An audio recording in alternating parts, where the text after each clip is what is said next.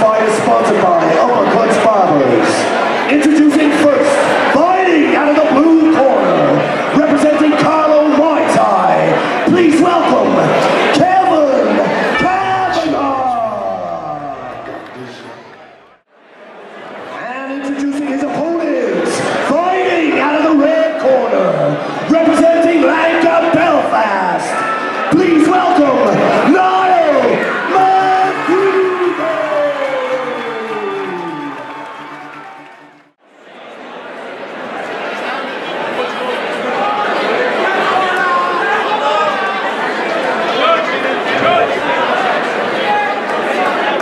Round one.